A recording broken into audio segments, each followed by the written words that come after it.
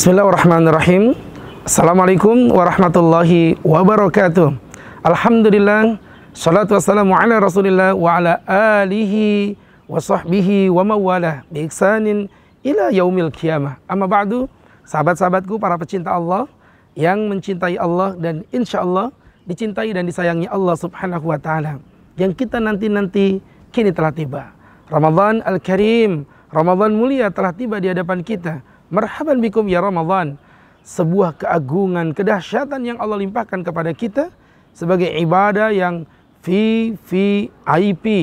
Ibadah yang very very important person. Kenapa sahabat-sahabatku yang merindukan kasih sayang Allah? Ada tiga ke VIP-an ibadah puasa. Yang pertama, Ramadan atau ibadah puasa VIP ditinjau dari sisi waktunya. Lihatlah bagaimana Allah memuliakan Ramadan. Allah letakkan di bulan Ramadan yang mulia syahrun yang Allah turunkan di dalamnya Al-Quranul Karim. Bulan yang Allah turunkan di dalamnya Al-Quranul Karim. Bulan yang Allah muliakan dengan orang-orang yang beribadah di dalamnya. Maka puasa menjadi ibadah yang mulia, berkah yang pertama dari waktunya. Waktu yang penuh berkah. Sehingga Allah subhanahu wa ta'ala menjadikan bulan-bulan ini, bulan di mana Allah tutup segala pintu-pintu keburukan. Allah lapangkan pintu-pintu kebaikan. Idza jaa sahru Ramadan, jika datang bulan Ramadhan, futihat lahu abwabul jannah. Pintu surga akan dibuka oleh Allah. Wa ghulliqat abwabun nar dan pintu-pintu neraka Allah tutup dan Allah kunci di dalamnya. Wa syayatin dan setan pun Allah belenggu di dalamnya. Yang pertama, VIP ditinjau dari sisi waktunya. Yang kedua, puasa mulia ditinjau dari sisi Allah Subhanahu wa taala memberikan balasannya Sebagaimana hadis Nabi Muhammad sallallahu alaihi wasallam bersabda, "Innalil jannati bab." Di dalam surga terdapat pintu, yuqalu lahu rayyan yang disebut dengan pintu rayyan la yadkhuluhu illa saimun. Tidak akan masuk di dalamnya kecuali orang-orang yang berpuasa. Dan jika orang-orang yang berpuasa memasukinya, maka pintu itu akan ditutup untuk selama-lamanya. Yang kedua, ditinjau dari sisi balasannya. Allah beri pintu spesial. Orang yang yang membayar zakat masuk surga, orang yang melaksanakan haji masuk surga. Tapi orang yang menjalankan ibadah puasa masuk surga melalui pintu yang spesial yang disebut dengan pintu Ar-Rayyan. Kemudian yang ketiga, ibadah puasa menjadi ibadah yang VIP ditinjau dari sisi siapa pemiliknya. Dalam sebuah hadis qudsi, Allah Subhanahu wa taala berfirman, Kullu amalu bani Adam. Setiap perilaku anak Adam, lahu, itu milik anak Adam itu sendiri. Illa siyam. Kata Allah, kecuali puasa. Fa innahu li. Puasa adalah milikku. Wa ana ajizibihi. Dan aku Allah yang akan membalasnya. Allahu Akbar. Allah dengan bangga mengatakan puasa menjadi miliknya. Tentu muncul pertanyaan di dalam hati kita. Sahabat-sahabatku. Para pemirsa yang dirahmati Allah subhanahu wa ta'ala Mengapa ibadah puasa dijadikan sebagai ibadah milik Allah? Bukankah kita zakat juga milik Allah? Bukankah kita puasa milik Allah? Bukankah kita juga melakukan ibadah haji juga untuk Allah? Tapi Allah dengan bangga mengatakan, semua itu milik kalian. Illa siyam, kecuali berpuasa. Dengan hebatnya Allah mengatakan, fa innahu li, sesungguhnya puasa itu menjadi milikku. Wa ana ajizibihi perfect, sempurna. Allah bilang, enggak cuma milikku, tapi aku yang akan membalasnya. Al-Imamul Ghazali menjelaskan makna hadis tersebut. Beliau mengatakan, makna apa maknanya? Kenapa ibadah puasa dijadikan menjadi milik spesial milik Allah? Yang pertama, kata beliau, karena ibadah puasa merupakan satu-satunya ibadah yang mematikan karakteristik syaitan yang ada di dalam tubuh kita. Ingat, godaan syaitan tidak pernah pandang bulu. Siapa pun akan ia goda Nabi Allah Adam alaihissalam, Nabi yang mulia pun digoda.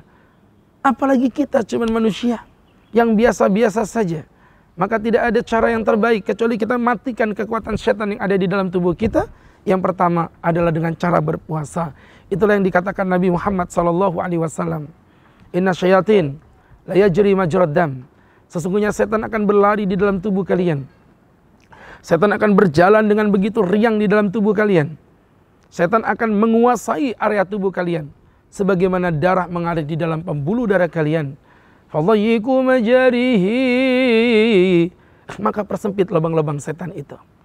Maka persempit lubang-lubang setan itu. Kalau para sahabat berkata, Bima ya Rasulullah. Dengan apa kami mempersempit lubang setan itu? Kalau para sahabat berkata, Bilju' dengan rasa lapar. Ternyata dengan lapar kita mematikan fungsi setan di dalam tubuh kita. Maka ibadah puasa menjadi ibadah spesial milik Allah. Karena musuh Allah dalam ibadah puasa dikencet habis-habisan, dimatikan habis-habisan sehingga tidak tersisa ruang di dalam tubuh kita kecuali setan akan terhinakan di dalamnya.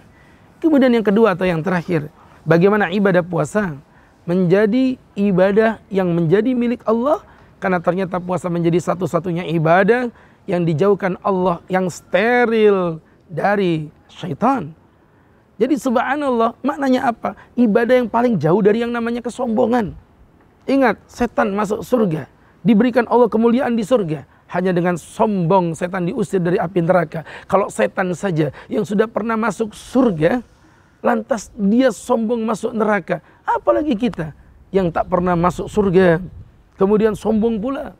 Hidup lagi, Allahu Akbar. Maka berangkat dari situlah sahabat-sahabatku pemirsa yang dirahmati Allah subhanahu wa ta'ala. Ibadah yang paling dekat dengan kesombongan adalah ibadah haji. Ketika kita menjalankan haji, semua orang satu kampung tahu tetapi satu-satunya ibadah yang paling jauh dari kesombongan adalah ibadah puasa. Ketika kita berpuasa, tidak ada satu orang pun yang tahu. Siapa yang bisa membedakan? Saya berpuasa, Anda berpuasa. Kita tidak pernah tahu. Sehingga sahabat-sahabatku yang berbahagia, ketika tidak ada yang tahu puasa kecuali kita dan di, dan Allah Subhanahu wa taala, di situlah seakan-akan Allah membelai kepala kita. Di saat orang yang tidak ada memuliakan dirimu karena puasamu hambaku, aku Allah yang akan membalasnya. Itulah makna daripada uh, firman Allah Subhanahu wa taala wa ana ajzi bihi. Tidak ada kesombongan di dalamnya. Tidak ada kesombongan dalam ibadah puasa. Menjadi ibadah yang benar-benar khalis murni karena Allah Subhanahu wa taala. Untuk itulah puasa diberikan Allah kemuliaan yang agung. Marhaban bikum ya Ramadan. Kita sambut dengan gegap gempita. Jangan remehkan puasamu, jangan remehkan Ramadanmu karena bisa jadi ini menjadi Ramadan yang terakhir untuk kita. Barakallahu fikum. Saya Agus Khairul Huda. Billahi taufik wal hidayah. Wa wal inayah. Assalamualaikum warahmatullahi wabarakatuh.